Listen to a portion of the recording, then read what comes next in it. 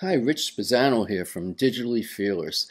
Um, I was originally going to do a different tutorial, but I'm going to hold off because I saw something from Sean Tucker on a, his YouTube channel. He's mainly doing photography, but he did do a Photoshop tutorial. And I'm just going to do a short version of it because I thought it was interesting to show how you can color grade using gradients. So let's get started. So I took this woman in here, I, I went to stock photos and I, I typed in portrait women and this one came up. I'll just pull this up so you can see the name. Photo by Eunice Latanyas. So um, that was the photo. I'm going to undo that because I already have the photo in here.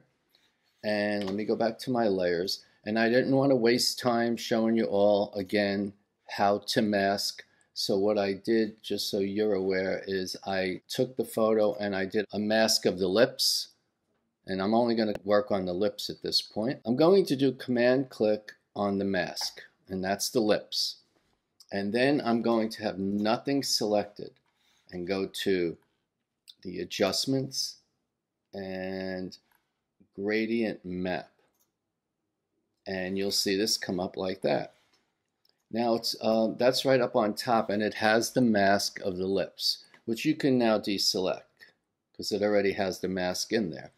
Now what I need you to do, for, uh, you only need to do this once. We need to have a black and white and you don't want to do that all the time. So basically click on the middle, delete it, click on this and do color and go black and then this side and do color white white here. Here we go.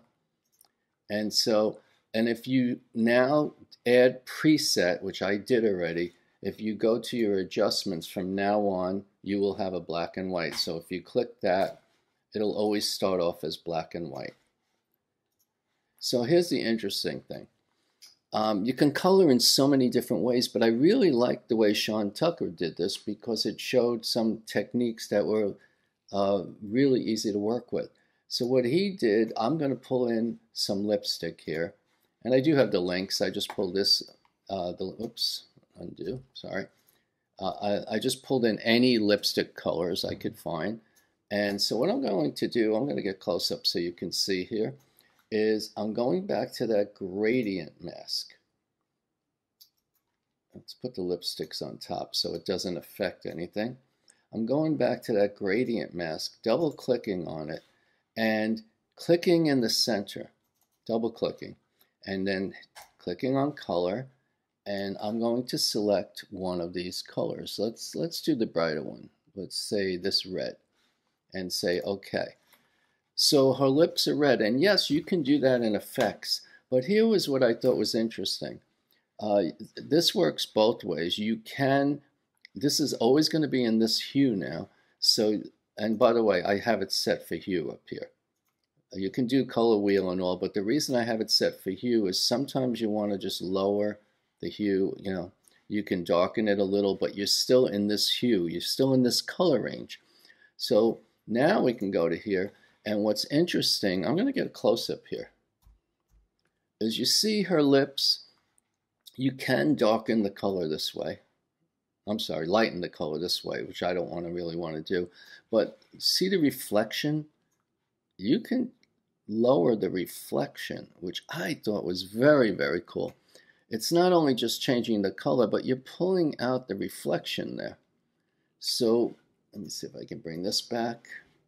So you're still giving her that, that lip color, but you can decide how much reflection you want in it. And all you do is double click here again, and you can raise or lower the reflection. And if you want to change, you can deepen the color, but it's all still in this color range. But now if I go here and I double click, I'm sorry, if I drag this here, say I want this color, let's go in the lighter shade there, and I can do this, I can do exactly the same thing. I can decide how much reflection there's going to be in her lips. And I thought that was really very interesting because I've never done it. I did try to go to effects. I tried to do the same thing when I went to effects, and I couldn't get that exact control. So I, I think it's like it's wonderful that there are so many ways to do things.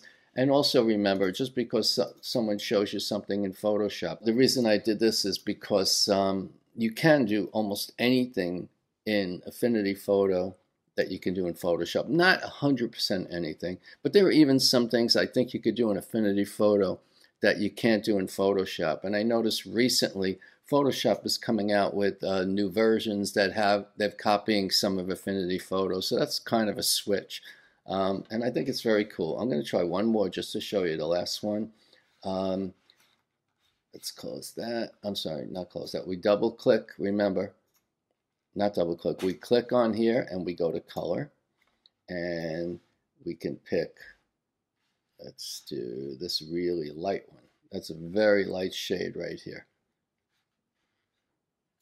And we click on that and it slightly changes because these shades were not that much different and I can I can lighten it I can darken it I can go to the hue I'm in the same as long as I'm in this color range here whatever I do it kind of keeps us in that range which I like a lot and that's it so I hope you like this tutorial and if you did, please click like and subscribe and have a great day. Thanks so much. I hope you found these videos useful. If you did, please click like and subscribe. And if you'd like to support me, you can buy me a cup of coffee at buymeacupofcoffee.com slash df.